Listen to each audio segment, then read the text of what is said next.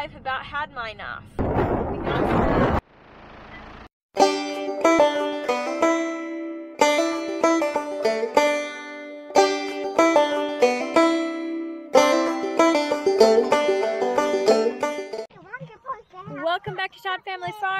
Out running the dogs right now, and the whole family is out today. Let's see, where are you at? There's Caroline, and Eliza's over there, and then everybody else is out too. So we're gonna all, everybody's gonna go to the barn this morning. We're gonna check for lambs, because like I said in the last video, if you didn't see that one, you can go watch that right there. And I told you that the lambs are super close, the sheep are super close to lambing. So we're gonna check for lambs and they could really have them anytime. So I'm super excited about that. We're gonna go over, get the barn chores done, and then proceed with what we can do today. All right, so we're over at the barn now, and I checked the sheep. There's no lambs yet, but they are definitely getting close, or at least one of them is. But now we're gonna feed hay, and uh, Izella's behind me, so she might talk a little bit. So you wanna say hi, Zell? Hello. Um, there's a ghost skunk. yeah, uh-huh. All right, let's get busy. Somewhere now.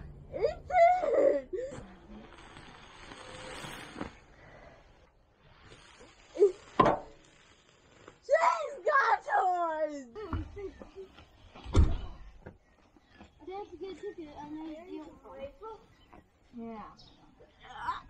Uh, we're back from the barn now, and we are gonna be picking rocks up out of these fields here. This field behind me, and then the field across the pond drive too. They're really small fields, so it doesn't take much. So we just go through with the loader tractor and some people, and we pick the rocks up. And here's the crew. We got Eliza and Caroline and Lemuel.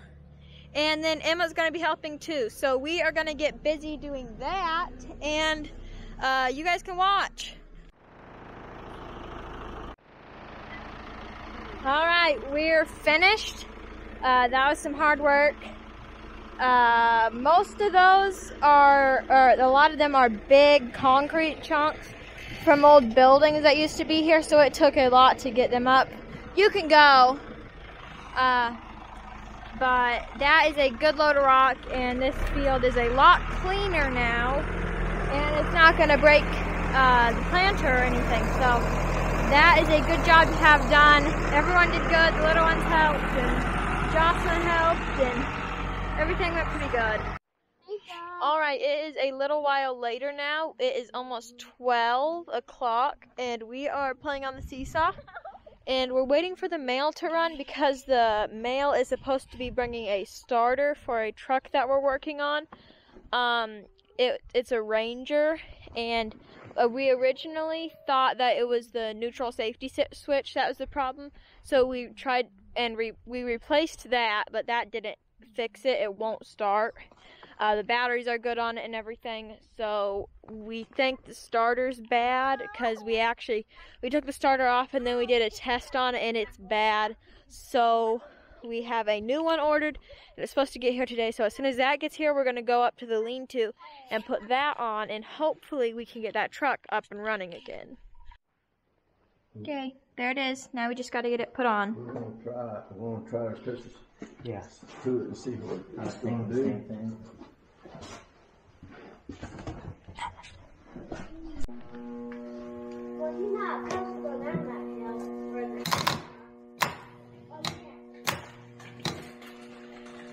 That's the way to do it. That's the way they work. Millimeter on that quarter inch socket. I'll see. Yeah.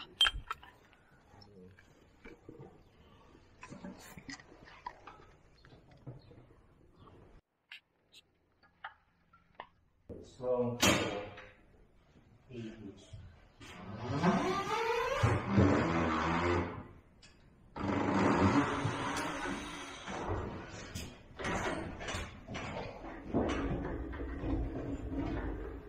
That chat did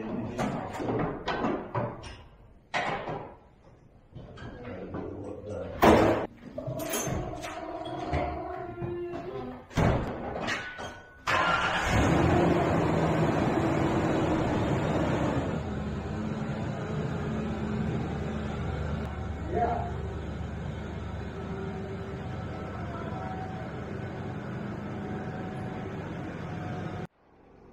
Get one fixed and immediately bring in the next.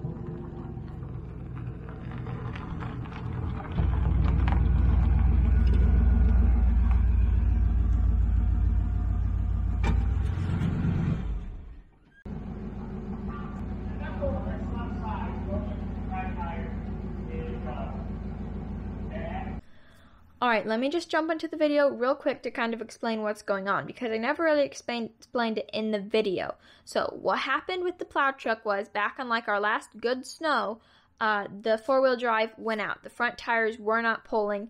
Uh, so, what daddy said, I don't know if you could hear uh, what he said in that video clip, but he said that the knuckle that drove the front tires for four wheel drive had gone bad. So, the front tires were not pulling at all and you need the front all tires to be pulling uh, in four wheel drive, especially in deep snow on a plow truck when it's going to be pushing snow. So the plow truck was not really any good after that because it could get stuck super, super easily. But we will have to get that part ordered. So you're not going to see any more of the plow truck until the next video when that part gets here and we can work on putting it on. So after now that I've explained that, back to the video.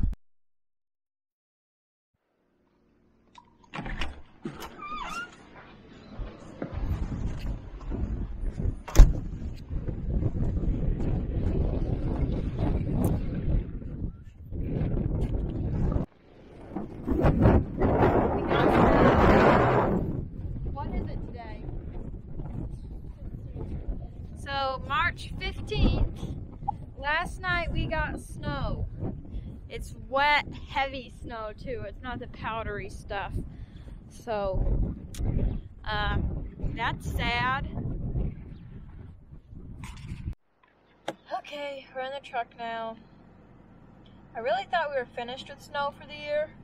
I hoped we were. It's the middle of March now, and I'm tired of winter. And just, it's this snow is wet and heavy and thick, and it's miserable, and it's windy, and it's cold, and I'm tired of winter. And I'm sorry if you like snow, but I do not, and I'm tired of winter. If I had, if okay, if we could have snow for the week of Christmas, enough to have a white Christmas, and then go sledding a little bit afterwards, that would be fine with me. And then no snow through the rest of the year, that'd be perfectly. it was staring at me. Anyways, in case you couldn't tell, I'm not a huge fan of winter. Hashtag we hate snow.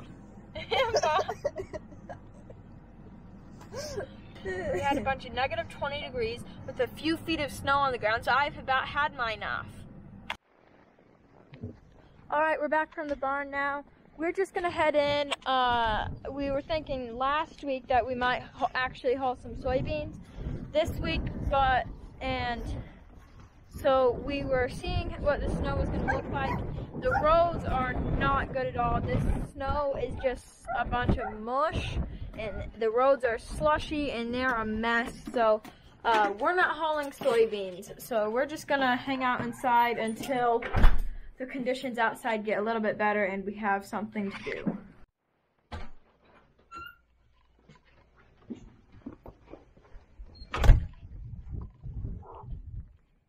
That's looking a little better. So, uh, it is later on.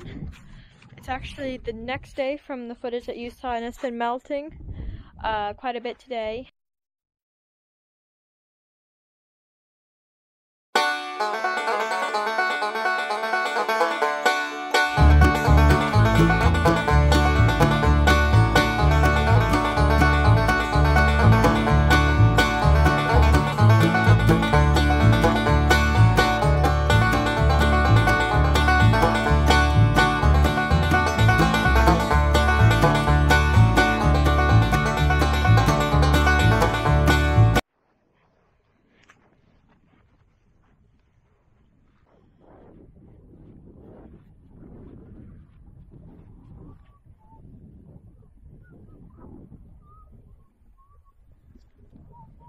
Nice.